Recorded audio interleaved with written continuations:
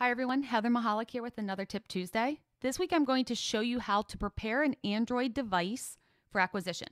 First, we need to go into the settings and we need to scroll down to About Phone and then go into Software Information.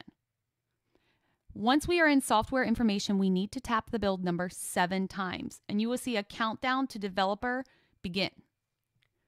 Once developer mode has been turned on, click back and go back one more time and scroll down, you'll see developer options.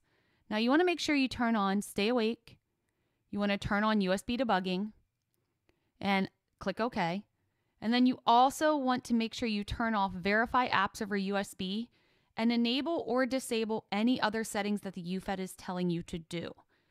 If you find you cannot pair with the device, you may have to revoke USB debugging authorizations from prior systems. Once you are in this state, you can then go forth and connect to your computer, your UFED, and finish your extraction.